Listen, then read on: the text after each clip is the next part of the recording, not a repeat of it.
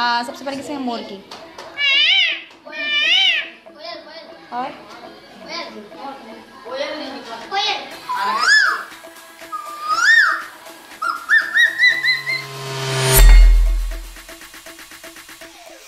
अगर आपकी भी आँखें नीचे से काली रहती है तो जान लो ये बात। सुबह उठते ही आप सबसे पहले क्या देखते हैं? यकीनन अपना चेहरा ही देखते होंगे। और अपने चेहरे में अगर आपको डार्क सर्कल्स दिख जाते होंगे तो आप ज़रूर थोड़े दुखी और परेशान हो जाते होंगे। लेकिन अगर हम आपको कहें कि आपके ये डार्क सर्कल आपके जीनियस होने की निशानी है तो क्या तब भी आप इनसे इतनी ही नफरत करेंगे? आपका क्या रिएक्शन होगा अगर हम आपको कहें कि डार्क सर्कल्स अच्छे हैं? आँखों के नीचे डार्क सर्कल देखकर अक्सर ही हम लोग परेशान हो जाते हैं, क्योंकि डार्क सर्कल हमारे चेहरे की खूबसूरती पर ऐसे दिखते हैं, मानो चाँद पर दाग।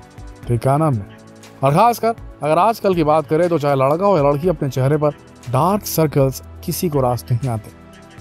और इसे हटाने के लिए सभी बड़ी जद्दोजहद करते हैं। इसीलिए तो मार्केट में डार्क सर्कल्स हटाने के लिए तरह तरह की क्रीमें मिलती है। लेकिन, जैसे एक डिटर्जेंट पाउडर की आड़ में कहते हैं ना कि दाग अच्छे हैं। वैसे अगर हम आपको कहें कि आपके चेहरे पर ये डार्क सर्कल्स अच्छे हैं तो ये सुनकर आप हंस ज़रूर रहे होंगे। लेकिन हैरान मत होइए। इस वीडियो में हम आज आपको बताएँगे कि हमारे इंटेलिजेंस का इन डार्क सर्कल्स के साथ क्या रिलेशनशिप है। साथ ही कुछ ऐसे फैक्ट्स बताएँगे जो आपको ये जानने में मदद करेंगे कि आप कितने जीनियस हैं। जी आप जीनियस है भाई, मान लीजिए बात। तो इस वीडियो के साथ आखिर तक बने रहिए। सबसे पहले हम आपको बता दें कि डार्क सर्कल्स के हमारे इंटेलिजेंस के साथ कनेक्शन की बात हम ऐसे ही नहीं कर रहे। इन डार्क सर्कल्स को लेकर डॉक्टरों ने कुछ एक्सपेरिमेंट किए हैं। जिसके बाद ये बात सामने आई कि जिन लोगों को डार्क सर्कल्स होते हैं, वो लोग आम लोगों से कुछ परसेंट ज़्यादा जीनियस होते हैं। आपको बता दें कि मेडिकल स्टूडेंट्स के ग्रुप के ऊपर डार्क सर्कल्स को लेकर एक्सपेरिमेंट कंडक्ट किया गया। इस ग्रुप में दो तरह के स्टूडेंट थे। पहले जो बिल्कुल साफ़ सुथरे चेहरे वाले थे मतलब बिना डार्क सर्कल्स के, और दूसरे जिन्हें डार्क सर्कल्स थे। इन एक्सपेरिमेंट्स में उन स्टूडेंट्स के साथ कुछ एग्ज़ाम्स लिए गए, और एग्ज़ाम के रिज़ल्ट में कुछ हैरान करने वाली बातें सामने आई। रिज़ल्ट में जिन मेडिकल स्टूडेंट्स के डार्क सर्कल्स थे, उन्होंने अधिकतर सवालों के जवाब आम स्टूडेंट की तरह ही दिए थे। लेकिन वो उस सवाल में काफ़ी अच्छे से परफॉर्म किया था कि उन्होंने जवाब सही तरीके से लिखे थे, जो कि हायर थिंकिंग स्किल पर बेस्ड थे। मतलब डार्क सर्कल वाले स्टूडेंट्स ने आम बच्चों के मुकाबले हायर थिंकिंग स्किल से रिलेटेड सवालों में बेहतर परफॉर्मेंस दी थी। जिसका कंक्लूजन ये निकाल गया कि डार्क सर्कल्स वाले लोग आम लोगों से कुछ परसेंट ज़्यादा स्मार्ट और जीनियस होते हैं। ये लोग सोचते ज़्यादा हैं। और अपने ब्रेन को ज़्यादा इस्तेमाल करते हैं, जिसकी वजह से इन्हें अक्सर डार्क सर्कल हो जाते हैं। है ना मज़ेदार बात? अब आपको समझ आ गया होगा कि हमारे इंटेलिजेंस का हमारे डार्क सर्कल के साथ क्या रिलेशनशिप है। तो अब हम यही आशा करते हैं कि आप अपने डार्क सर्कल्स को ज़्यादा अंडर एस्टिमेट नहीं करेंगे। हालाँकि अगर आपको अपने डार्क सर्कल्स को कम करना है तो डॉक्टर्स के सजेशन के मुताबिक आप दिन में दो से तीन बार ठंडे पानी से अपने मुँह को धोएँ, जिससे धीरे धीरे ये हल्के होना शुरू हो जाएँगे। लेकिन फिर भी एक बात ध्यान रहे कि दाग अच्छे हैं। चलिए तो ये रही डार्क सर्कल्स की बात। अब आगे हम आपको आपसे जुड़ी कुछ ऐसी बातें बताएँगे, जिससे आप ये अंदाज़ा लगा पाएँगे कि आप कितने ज़्यादा जीनियस हैं। वैसे तो आपको बता दें कि जीनियस होने का केवल यह मतलब बिल्कुल भी नहीं कि आप पढ़ाई में हमेशा अव्वल आए। आपने बिल गेट्स का नाम तो सुना ही होगा, और अगर आपने उनके बारे में पढ़ा होगा तो आपको ये ज़रूर मालूम होगा कि बिल गेट्स भी पढ़ाई में कुछ खास नहीं थे, लेकिन फिर भी उनकी गिनती दुनिया के सबसे अमीर लोगों में होती है। सही मायने में ऐसे लोग ही जीनियस की कैटेगरी में आते हैं। जो पढ़ाई में भले ही एवरेज हों, लेकिन उनकी एक्स्ट्रा एक्टिविटी और आम चीज़ों को समझने की क्षमता बेहद तेज और बहुत अच्छी होती है। तो चलिए अब आपको बता दें कुछ ऐसी हरकतों के बारे में जो शायद आप भी करते होंगे, लेकिन आपको ये अंदाज़ा बिल्कुल भी नहीं होगा कि आपके इंटेलिजेंट होने की एक निशानी है। इन हरकतों में सबसे पहली हरकत है डूडलिंग करना। जी हाँ सही सुना आपने। आपने अक्सर खुद या अपने किसी दोस्त को किताब या कॉपी के सबसे पीछे वाले पन्ने पर कलाकारी करते देखा होगा। अक्सर ही देखा होगा कि क्लास में मैडम बोर्ड पर कुछ पढ़ा रही है और कुछ बच्चे अपनी किताब में अलग ही कलाकारी कर रहे होते हैं। जैसे किताब पर बने किसी व्यक्ति के चेहरे पर दाढ़ी मुँह चुका देना या फिर उसके कपड़े पर अच्छी कलाकृति बना देना। जैसा कि हम आपको इस वीडियो की तस्वीरों में दिखा रहे हैं, देखिए ये कितनी मज़ेदार तस्वीरें हैं। किताबों पर बनी तस्वीरों पर क्या आप भी इस तरह से कलाकारी करते हैं?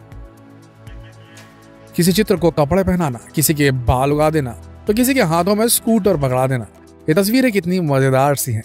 आप भी हँसी नहीं रोक पाएँगे इन तस्वीरों को देख के। इन कलाकारियों को आज की तारीख में डूडलिंग कहा जाता है और कुछ रिपोर्ट्स के मुताबिक, जो लोग खाली न बैठकर अक्सर डूडलिंग करने लग जाते हैं, ये लोग जीनियस की कैटेगरी में आते हैं, क्योंकि इनका दिमाग कभी शांत नहीं रहता। इनके दिमाग में लगातार कुछ न कुछ चलता रहता है, इनका कंसंट्रेशन लेवल काफ़ी शानदार होता है। रिसर्च की माने तो ऐसे लोगों में दूसरों की प्रॉब्लम सॉल्व करने, हर बात पर लॉजिक ढूँढने की आदत होती है। साथ ही इन लोगों में चीज़ों को याद रखने की क्षमता नॉर्मल लोगों से कुछ ज़्यादा ही होती है। ऐसी एक और आदत है, जिससे अंदाज़ा लगाया जा सकता है कि कोई इंसान जीनियस है। आपने अक्सर देखा होगा कि कुछ लोग होते हैं, जो खुद से बातें करते हैं और इनकी इस आदत की वजह से कई लोग इन्हें पागल समझने लगते हैं। इसका स्क्रू ढीला ऐसा बोलते हैं मतलब खसक गया ऐसा बोलते हैं। और कुछ लोग तो पूछ भी लेते हैं, क्या भाई, खुद से बात कर रहे हो क्या? स्क्रू ढीला हो गया क्या? लेकिन रिसर्चर्स की माने तो खुद से बात करने वाले लोग भी जीनियस की कैटेगरी में आते हैं। साइकोलॉजी के मुताबिक जो लोग खुद से बात कर रहे होते हैं, वो अपने प्रोजेक्ट या लाइफ को लेकर कुछ अच्छी प्लानिंग्स बना रहे होते हैं। ये लोग खुद से बात करके अपने आइडियाज़ पर खुद ही डिस्कशन कर रहे होते हैं। और इसी वजह से आपने देखा होगा कि ये लोग कभी कभी अपने हाथों को भी मूवमेंट में ले आते हैं, खुद से बात करते हुए। इस तरह के लोगों को ज़्यादा किसी की ज़रूरत नहीं होती। और ये खुद से ही बात करने में हमेशा बिज़ी रहते हैं। और खुद से ही जान लेते हैं कि उनका आइडिया सही है या गलत है। तो आप भले ही खुद से बात करने वाले लोगों को पागल समझे लेकिन सही मायने में ये लोग भी जीनियस की कैटेगरी में आ सकते हैं। और कई बार इस बात का अंदाज़ा ऐसे लोगों को खुद नहीं होता कि वो जीनियस है। इसलिए अगर आप भी खुद से बात करते हैं तो आप जान लीजिए आज कि आप भी एक जीनियस है। आगे बढ़ते हैं। तो दोस्तों, अगर आप पढ़ाई में अव्वल नहीं आते तो निराश मत होइए, क्योंकि आप फिर भी जीनियस हो सकते हैं। इस वीडियो में बताई गई आदतों में से अगर एक भी आपके अंदर है या आपकी आँखों के नीचे डार्क सर्कल्स है तो वही आप जीनियस हो सकते हैं। शर्त सिर्फ़ एक है। क्या आप ज़िंदगी में जो करना चाहते हैं, उसे ही आपने करियर चुना है। शर्त सिर्फ़ एक है। क्या आप आज की तारीख में अभी जो कर रहे हैं, वही आपका पैशन है? शर्त सिर्फ़ एक है। क्या आप अपने पैशन को लेके पूरी तरीके से, पूरी तरीके से संजीदा है?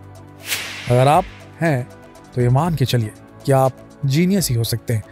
क्योंकि एक जीनियस ही वो शख्स होता है जिसका कॉन्सेंट्रेशन लेवल और अपने गोल को पाने की जो उसकी इच्छा होती है, जो उसका पैशन होता है अपने गोल को प्राप्त करने का।